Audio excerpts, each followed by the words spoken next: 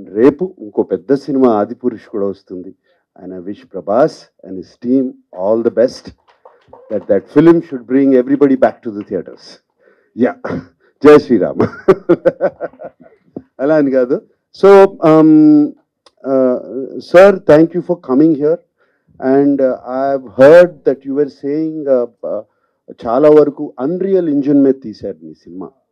ఈ was uh, ఇప్పుడు ఆయన చెప్తున్నారు చాలా వరకు సీన్స్ ఇట్స్ అన్బిలీవబుల్ అంటే ఒక ఒక సినిమాని ఒక అన్రియల్ ఇంజిన్ మీద తీసి you can make it as big as Avatar just you have to use మన బ్రెయిన్ వాడుకుంటే చేయొచ్చు. సో ఇప్పుడు ఉన్న టెక్నాలజీ ఉంది.